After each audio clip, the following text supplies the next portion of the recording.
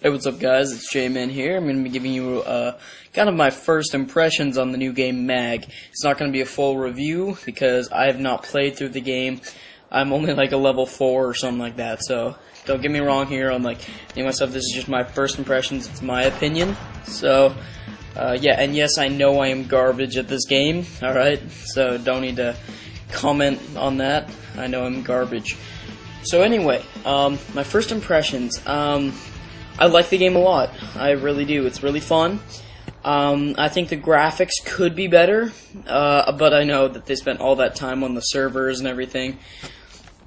So that kind of makes up for it. Uh, so, yeah, the graphics and the movements of the character are a bit choppy and, like, don't flow together very well, but that's not anything huge.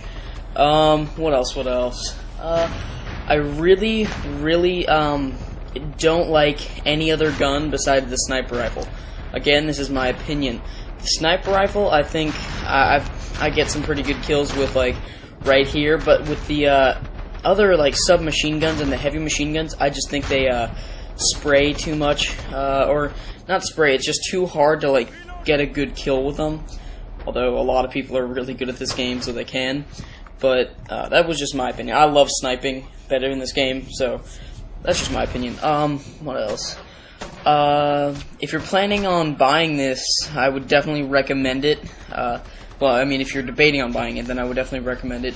Um, although if you're debating over Modern Warfare 2 or this game, I would pick Modern Warfare 2.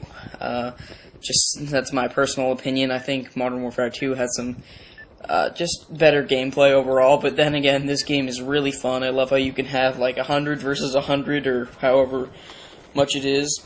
I mean, it's really awesome. I, I, I, still can't get over the fact how big the teams are.